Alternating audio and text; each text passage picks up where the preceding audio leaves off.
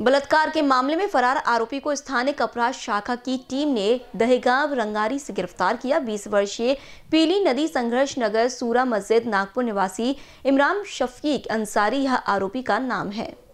यह कार्रवाई ओम प्रकाश कोकाटे, पुलिस निरीक्षक, स्थानिक अपराध शाखा, इनके मार्गदर्शन में एपीआई राजीव करमलवार, जितेंद्र वेरागढ़े पुलिस हवलदार राजेंद्र रेवतकर पुलिस सिपाही आशीष मोंगले, किशोर वानखेड़े, उमेश फूलबेल, रोहन डाखोरे, अमोल भाग चालक, अमोल कूथे इन्होंने की।